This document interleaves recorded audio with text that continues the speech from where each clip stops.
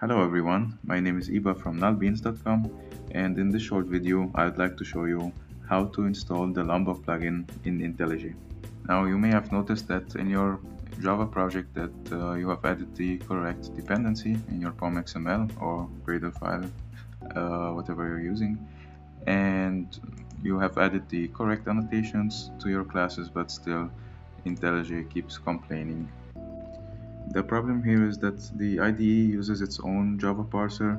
It doesn't do any annotation processing and that basically means that it doesn't understand the side effects from adding the Lombok annotations to your classes. So in order to solve this problem, we will have to install a plugin in IntelliJ.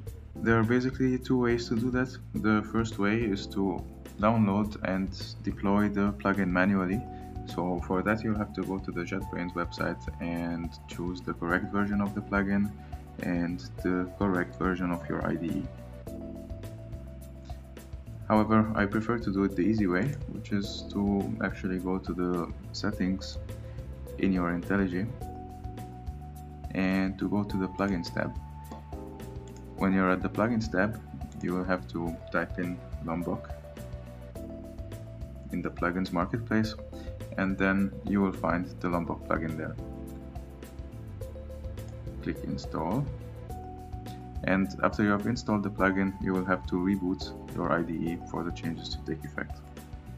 You can see now after my IDE has been restarted IntelliJ no longer complains about the syntax of the code it doesn't complain that it cannot find the setter because now it understands that when I leave the data annotation there I have the getters and setters already configured for this class.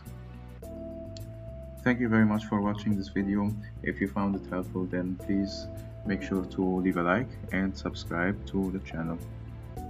Please also make sure to check out our own Ultimate Lombok Annotations guide. I'll leave the link in the video description. Thank you very much and see you in the next video.